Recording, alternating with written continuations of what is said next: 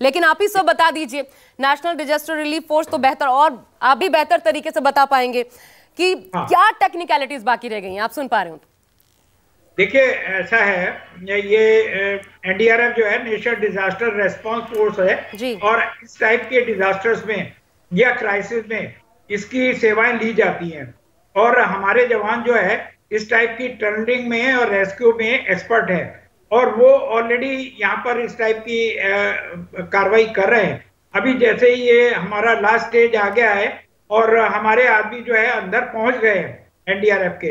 अब वो लोग अंदर जाके उनको जो बीमार आदमी है, जो डॉक्टर भी साथ गए, अंदर जाके उसको स्ट्रेचर पे लिटा के और वन बाय वन एक एक को बाहर निकालेंगे। और इस प्रोसेस में ढाई मिनट का टाइम लगता है। इस प्रकार से बारी बारी से सभी लोगों को बाहर निकाला जाएगा और लास्ट में हमारे जो करीब चौदह जवान गए अंदर वो बाहर निकलेंगे। मतलब एक इंसान को वो कितनी लंबी पाइप है सर जिससे निकालना पड़ेगा? और उसमें आप कह रहे हैं कि एक इंसान को निकालने में एक मजदूर को निकालने में ढाई मिनट लगेंगे। बिल्कुल ये जो है आपका लगभग सत्ता फिफ्टी सेवन मीटर है। और इस क्योंकि स्टेचर है उसमें व्हील लगे हुए हैं और उसके अंदर बाहर से खींचने के लिए रस्सियाँ बंधी हुई हैं। उसकी वजह से जल्दी जल्दी जो है इनको बाहर निकाला जाएगा।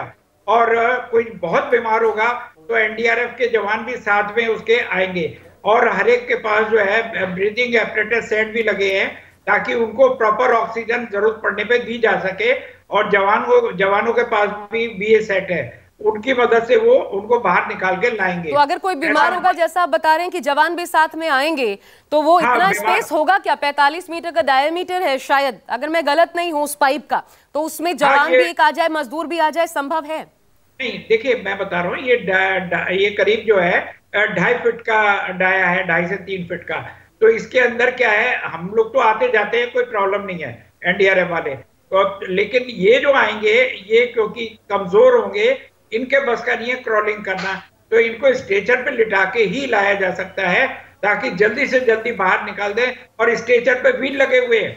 तो इसलिए जो है इनका मूवमेंट फास्ट होगा और इनको जो है बाहर से भी मदद मिलेगी इनको खींचा जाएगा और ज, कुछ कंडीशंस के अंदर हमारे जवान इसको ड्रैग मेथड से भी निकाल सकते हैं अगर।